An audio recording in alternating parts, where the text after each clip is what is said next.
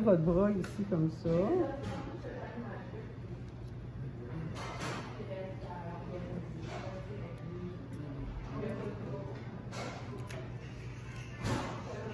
Ok, un, deux, deux, deux, trois, go.